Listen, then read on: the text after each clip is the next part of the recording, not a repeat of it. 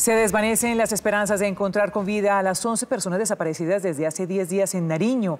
Los familiares de las víctimas piden que no cese la búsqueda de sus seres queridos.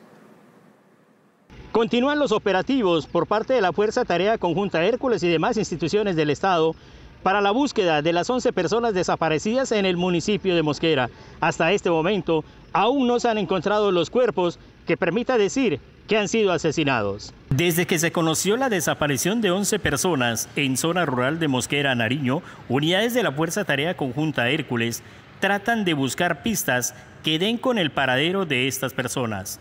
Desde que se inició esta operación se han navegado más de 180 horas, eh, son más de 670 kilómetros fluviales los que se han recorrido de, de río, de playa, en búsqueda eh, de, esta información. El obispo de la diócesis de Tumaco hizo un llamado a los grupos armados ilegales para que frenen la violencia y no se ensañen con la población civil. A todos los actores armados ilegales, invitarlos a transformar su corazón. Defensores de derechos humanos aseguran que la violencia en la costa pacífica nariñense no ha cesado el reclutamiento de menores de edad, el desplazamiento forzado y los asesinatos selectivos son acciones violentas que tienen atemorizada a la comunidad.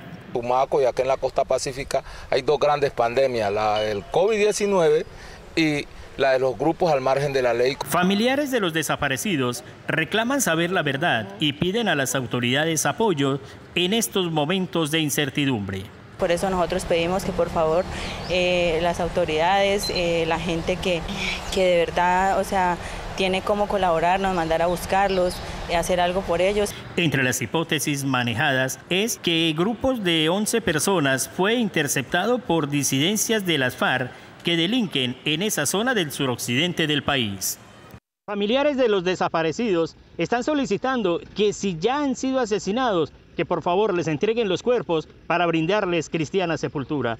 Desde la Fuerza de Tarea Conjunta Hércules con la cámara de Francisco Villa, Luis Eduardo Carlosama, Noticias Caracol.